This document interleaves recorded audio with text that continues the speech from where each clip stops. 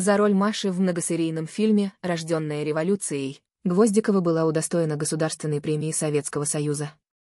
И должна была бы сегодня получать по 19 тысяч рублей прибавки к пенсии. Однако 75-летнюю актрису этих денег лишили. Я написала письмо Владимиру Путину, сообщила Наталья Гвоздикова. Хотя и понимаю, что президенту сейчас не до этого.